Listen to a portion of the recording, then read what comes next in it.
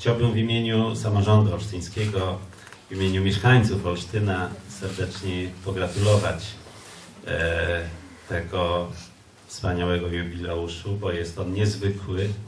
E, wszyscy cieszymy się, jeśli cieszymy się zdrowiem, jeśli nasi najbliżsi e, dożywają tak wspaniałego wieku. Na pewno pani Katarzyna może bardzo wiele opowiedzieć o swojej historii, o naszej wspólnej historii, bo przecież żyjemy w mieście pięknym, mieście Olsztynie. 18.30 lat, 200